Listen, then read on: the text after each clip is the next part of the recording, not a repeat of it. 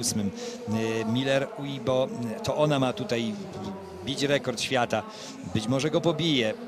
No, gdyby tu padł rekord polski, to bylibyśmy mile zaskoczeni. No łatwe to z pewnością nie będzie. E, Tak patrzę na ósmy tor Ani Kiełbasińskiej. Nie będzie miała nikogo przed sobą.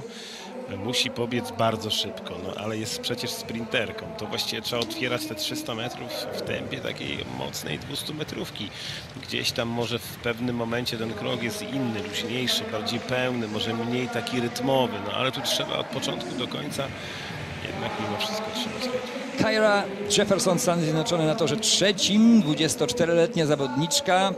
Przy niej nie ma żadnego rezultatu, czyli pewnie pierwszy oficjalny bieg na tym dystansie. Brittany Brown, Amerykanka, 23-letnia i Justyna Święter-Setysz, której rekord życiowy na tym dystansie to 36 sekund 58 setnych. Rekord polski jeszcze raz przypomnę 35 70 Ireny Trzewińskiej. Nasza mistrzyni Europy biegnie za mistrzynią olimpijską, bo oto na szóstym torze Shani Miller Uibo z Wysp Bahama, mistrzyni olimpijska na 400 metrów.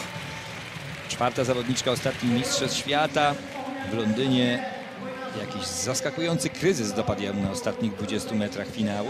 Lada Wądrowa z Czech, 19-latka, 38-38 na torze siódmym i Anna Kiełbasińska na najbardziej wysuniętym ósmym torze. Świetny bieg w Chorzowie, czwarte miejsce, rekord życiowy 51-57.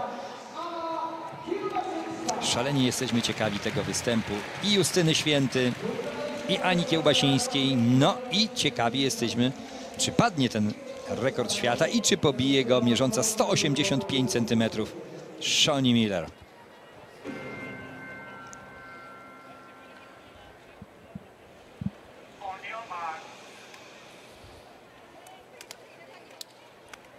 Aby pobić rekord świata, trzeba każdą setkę pobiec poniżej 12 sekund.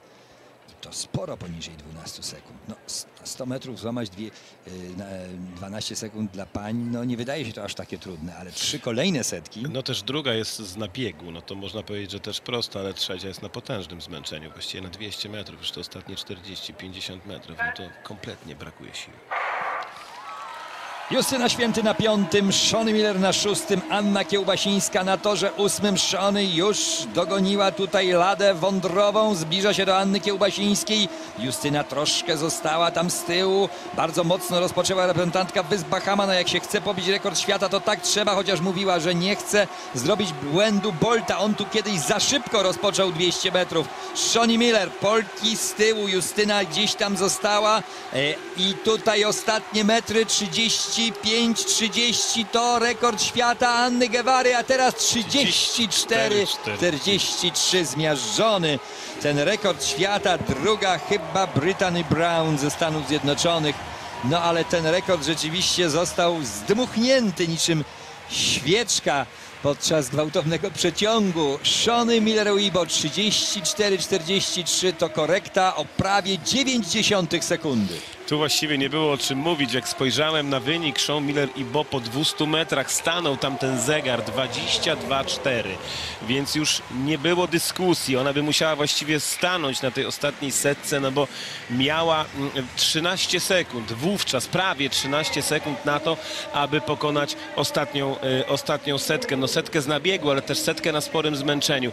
Ona pokonała ten dystans w 12 sekund, niecałe 12 sekund. Nie, troszeczkę wolniej niż 12 sekund, bo mieliśmy 20 34, e, 43, więc dokładnie 12 sekund i 3, i 3 setne. E, Zatem wytrzymała też do końca. To świadczy o tym, że jest przygotowana również na fenomenalny wynik na dystansie 400 metrów, no bo tak biegając 300 metrów można spodziewać się niesamowitych wyników na dystansie jednego okrążenia. Prawda? Ona już w tym roku bardzo szybko biegała na dystansie 400 metrów. E, Jest zresztą liderką światowych list 45-0 49.05 w Gainesville 27 kwietnia na 400 metrów. Mm, A więc blisko złamania 49 sekund. Ona zresztą już w swojej karierze złamała 49 sekund. Tu widzimy Anię Kiełbasińską. Piękny rytm, zobacz, równy krok, właściwie idealna praca ramion. Tu nie widać było w ogóle, nawet na moment jakiegoś takiego zmęczenia, walki z dystansem. Mm, No i, i przede wszystkim ten wzrost, długi krok. To są e, atuty Sean Miller i Bo. No, fenomenalna forma. No i tak jak powiedziałeś, ten rekord został po prostu zdmuchnięty. 185 cm wzrostu porównajmy. Na przykład Irena Szewińska miała 176 cm. Na tle swojego pokolenia była wysoką, wyniosłą zawodniczką o fantastycznym, długim, sprężystym kroku. No, mijają lata, 40, 40 kilka od jej największych sukcesów. To jest zawodniczka jakby też innej generacji, 185 cm, to jakby dwumetrowy mężczyzna biegał. Ona jest relatywnie wyższa od Bolta. Ale zwróć uwagę, Ania Kiełbasińska, rekord 36, życiowy 36, 34. 34. No i wszy, wszystkie panie w tym biegu e, poprawiły rekord życiowy. Justyna Świętercet i 36,50. No, wielkie, wielkie mm, gratulacje, a więc y, jak się biegnie w tak rekordowym biegu, to mm, trudno o to, aby rekordów życiowych nie poprawiać. Myślę, że gdyby Ania Kiełbasińska była na innym torze, też troszkę